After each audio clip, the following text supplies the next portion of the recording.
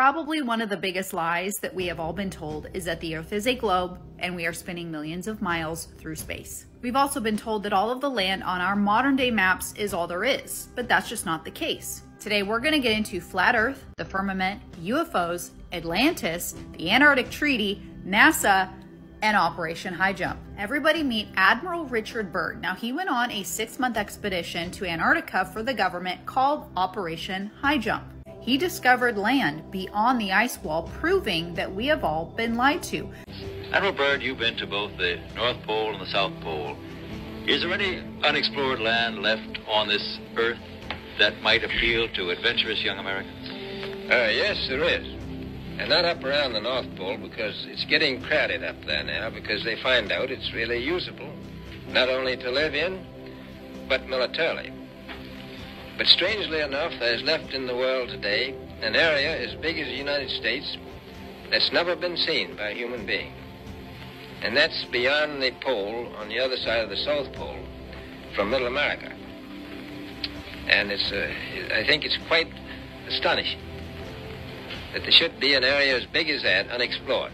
That's a tremendous So challenge. there's a lot of adventure left down at the bottom of the world. So Byrd comes out publicly on TV and tells the world that there is undiscovered land beyond the ice wall. A few years later, the Antarctic Treaty was signed. The 56 Antarctic Treaty nations represent about two thirds of the world's human population. Not only that, NASA was formed. Don't worry, guys, the government will tell you the truth. Why would they lie to us, you ask? Because Satan doesn't want us to know that the Bible holds the truth. The world tells us that the Earth rotates on its axis at 1,039 miles per hour, and that the Earth orbits the Sun at 66,666 miles per hour. This contradicts God's Word. He set the Earth on its foundations, it can never be moved. Surely the world is established so that it cannot be moved. And God said, Let there be a firmament in the midst of the waters, and let it divide the waters from the waters. Thus God made the firmament, and divided the waters which were under the firmament from the waters which were above the firmament. And it was so. Scientists discover Earth's Star Trek style invisible shield. This is why the government and now Elon have all their cool rockets because they are forever trying to penetrate God's firmament. This is on JFK's plane. There's a flat Earth map. This is a map from 1587. This is actually in a map collection at Stanford University. Imagine what they know. Imagine the lies that we don't even know about yet. Imagine what they have at the Vatican, in the Vatican archives. Imagine what they have under the Smithsonian. We are a closed, flat Earth system with a dome firmament. We are not a globe traveling millions of miles through space. We are not spinning at 66,666 miles per hour. There is a very real demonic marine kingdom at the depths of our oceans, and there are very real demonic cities underground, and Satan will continue to lie because Satan's biggest deception is convincing the world that he doesn't exist. Oh, so you want to know what would happen if the demons were successful in breaking the firmament? Yeah, let's take a look. Okay, so now you know we already have to go to my favorite scripture in Genesis chapter 1. It's 6, and it says, God said, Let there be a firmament in the midst of the what? Waters. Waters above us, and there's water below us. And that little dome that he created over us is called the firmament. But that's just a literary device, right? Like God was just being poetic and stuff. Mm, no, no. Let's go to an example so I can show you where the floodgates actually open. And it's in the Bible. Yeah, yeah, I know. And I already know what you're going to say. Why you got to use the Bible? Uh, that's the whole point of the page. Yeah. And boom, chapter 7. Here we are, Noah's Ark. And it came to pass after seven days that the waters of the flood were upon the earth the great flood. Now, here's the part that I need you to listen to. It's a little bit long, but hang in there, okay? It says, In the 600 year of Noah's life, in the second month, in the 17th day of the month, this is just all just saying that God is precise and He picked the exact moment when it was going to rain and when the floods were going to happen, okay? How did they come, though? The same day were all the fountains of the great deep broken up, and the windows of heaven were open, and it rained 40 days and 40 nights. So, I can say this with great confidence that if the dome is ever pierced, we would drown. Now we won't because of God's promise to Noah that he would never send a great flood, one that was so massive enough that it would destroy the entire world again. So that's not going to happen under God's watch. But why are they doing it then? The short story is, is that the places of power also comes with the attraction of a lot of evil spirits. And these evil spirits want to return back to heaven to continue the fight that was started before Judgment Day takes place. So they're trying to get out. They're not really worried about the water because they have uh, a bigger fate that's coming their way. So they need to get out ASAP. This is what's going on. Welcome to the world. Now, we all remember the Red Bull Edge of Space jump, right? Like, seriously, bro, how could you be a flat earther when we have videos and pictures of him up there? There's the curvature. Hmm. What if I told you that's not curvature that you're seeing, but a wide angle lens which curves horizontal lines? But even Neil deGrasse Tyson came out publicly and on video stating you can't see curvature at 128,000 feet. Let me get this straight. So you're saying we're seeing curvature here, but not here? So the next time you're about to say we see curvature from here, but not here, please stop yourself.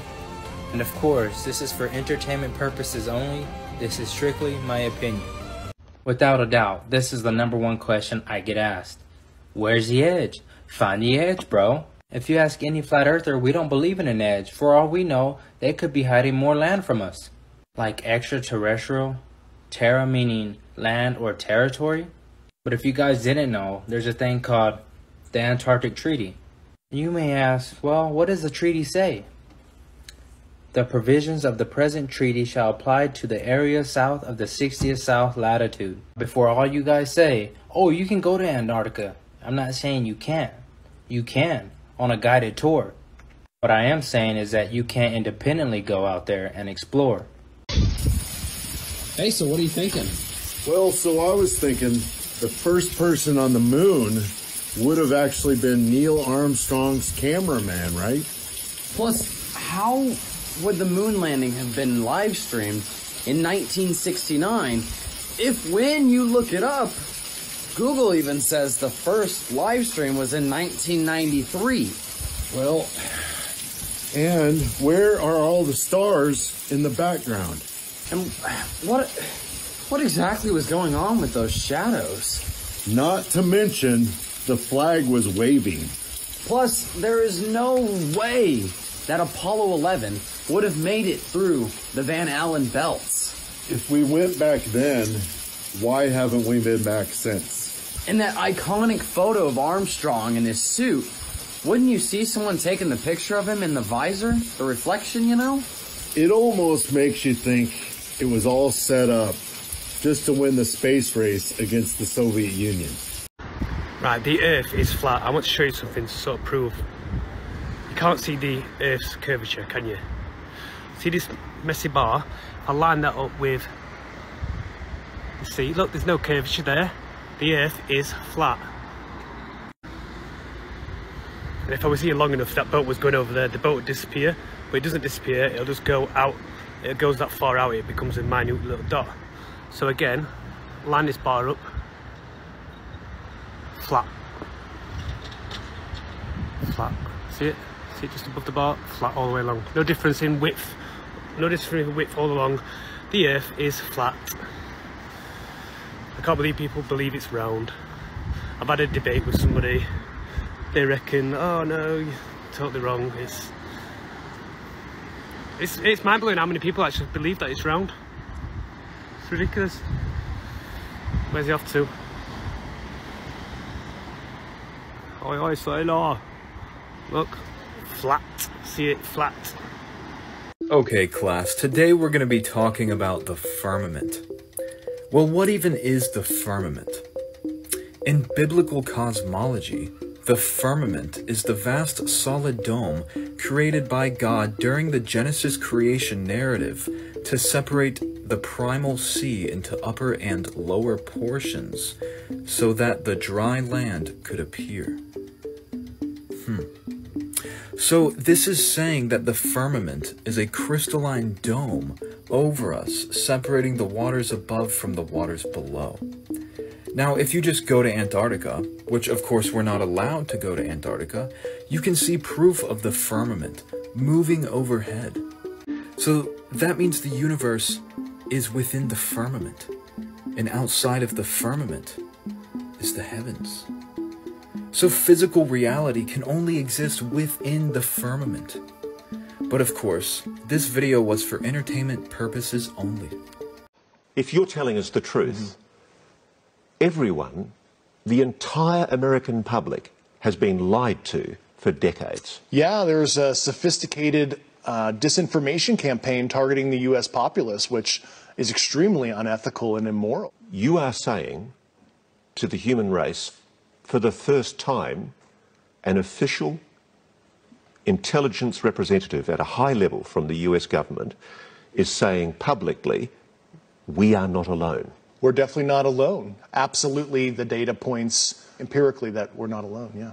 Do we have bodies? Do we have species of. Well, naturally, um, when you recover something that's either landed or crashed, um, sometimes you encounter um, dead pilots. And uh, believe it or not, as, fan- as fantastical as that sounds, it's true. So it looks like we're about to see the start of the next PSYOP, guys. Do not be fooled. Do not be fooled by all the reports that you're seeing of alien sightings, UFO sightings, jets being scrambled. This is all another PSYOP. It's another part of the movie that they're showing us in order to shoehorn us into doing things that we wouldn't normally want to do. So governments can play the savior in this fake alien invasion. But in order for them to do that, there will have to be more restrictions on our freedoms, probably a digital currency and a social credit score as well. They're getting desperate now and they're using all kinds of tactics. Project Bluebeam, go and research it. This has been known for many years from alternative researchers that they're going to do this. So don't be fooled by all the UFO BS that you're going to see in the next few months. Did you know that we have underwater drones? Did you know that there are unmanned underwater submarines floating around? They're called UUVs, unmanned underwater vehicles, and some of them can fly. Uh, there's technical papers out there about making something that can come out of a sub bay in a submarine. It could either go out and act as a weapon or it can act as a sensor, and they can leave the water and fly around and come back down and be brought back into the submarine. These are technical papers that have been out for decades. And you can link that in with a lot of different things like like uh, uh, Maxwell. Um, I don't know if I could even really say her name. You know, you know the Maxwell I'm talking about. With the uh, there was an island and there was a guy that had an island. You know what I'm talking about. Well, she had a passport to an imaginary underwater world called Terramar that nobody has ever heard of. Had a passport to it. Had credentials for Terramar, and she had a submarine license. Why? Why? Why is? Why are intelligence assets of foreign governments floating around under the water. And uh, uh, yeah, it, put it all together, guys. There's other there's other governments and entities out there that have things underwater that they siphoned off from U.S. industry and the military. They developed on their own in private, and now they're pretending in Congress like they don't know where it's coming from. They know damn well where it's coming from.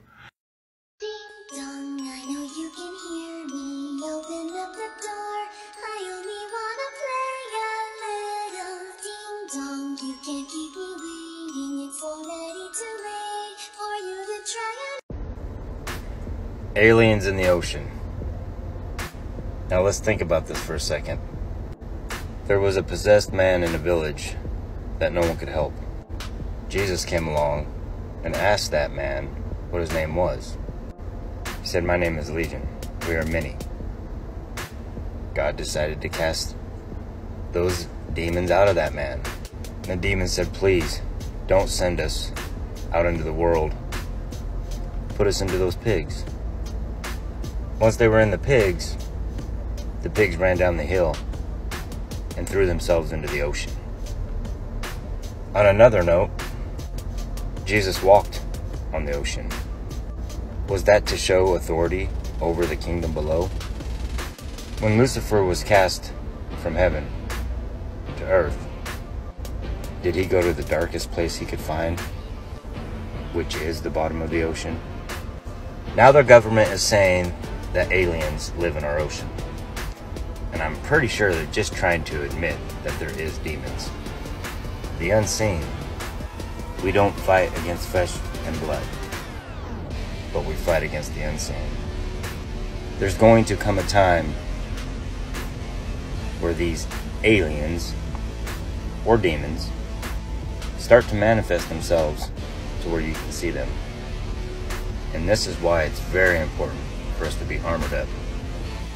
God says put on the full breastplate, your helmet, have your sword ready, get your shoes on, and make sure that belt is tight. There's a war coming, and it's not man on man. It's the man against spiritual world that we cannot see. So let the government admit that there's aliens in the ocean. They've been here since the beginning of time. And now it's time for our Father to step in and rid them of this world. Trust in God. Call on Jesus. That is the only thing that can save us. Remember, God loves you. Jesus died to save you. And he's coming back. Tinfoil hat fact of the day.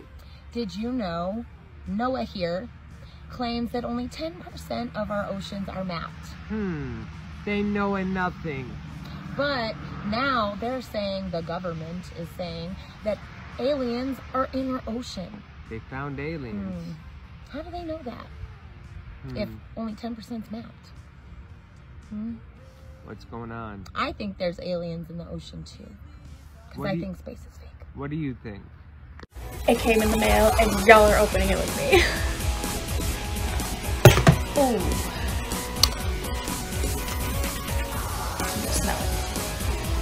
Woo!